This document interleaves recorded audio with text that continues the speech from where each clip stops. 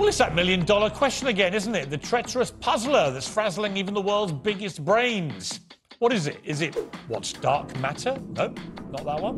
How big is the universe? Nope. When did life start? Uh, not even that one. It's this. What is a woman? Good question. That is a challenge and a half. Oh no. Oh, this is a problem question. In order to be a woman, I feel like you need to have a womb, innit, to actually give birth. Well, I guess it depends how you identify. It can mean whatever you want. I know for some people it means sensitivity or softness, but for some people it means having really good fashion.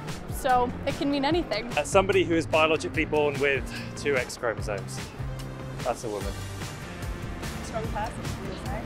Oh, very different answer. I'm not sure that's even answerable.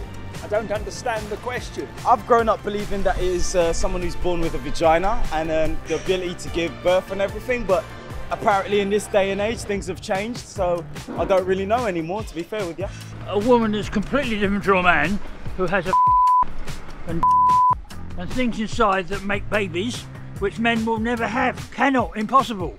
Biologically, blah, blah, impossible. Nonsense. I should think genitalia for a start. It's however you want to present yourself, like femininity wise or masculinity wise. There's no set way of being a woman, being a man, or whatever. You can flow on either side. It has nothing to do with genitals or like your actual body and stuff like that. It's just a mindset. So I would say a woman is, you know, The opposite you are of a a male. woman and you are a man.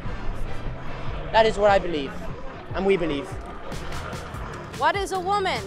Uh, I am. That's all I know for sure. A woman is someone who identifies in a feminine way, whether that's their outward appearance or their inner self. Someone who has identified as one. A woman is the opposite of a man? I guess. Um, Outside of the spectrum. Um, a woman is opposite to a man. She has a reproductive system. She can give life. She can give birth to babies. And that's it, yeah. In order to give birth, you have to be a woman. To be classed as a woman, in my view, you should be born with a womb. You can be female, you can be feminine, but you can't be a woman. I think it is a really difficult question now. Um, my initial inclination would always to be someone who is physiologically born with female attributes. I would want to make a distinction though between sex, sexuality and, and gender. I do believe that men can become women through tra- transsexuality, um, although I, I'm extremely dubious about the whole issue of people just saying, I am a man when they're genetically a woman, or I am a woman when they're genetically a man. Just think, you be you, and if you want to be a man or a woman, then that's that's your choice. You know, you do you. A woman is everyone who feels as such. And it's as simple as that.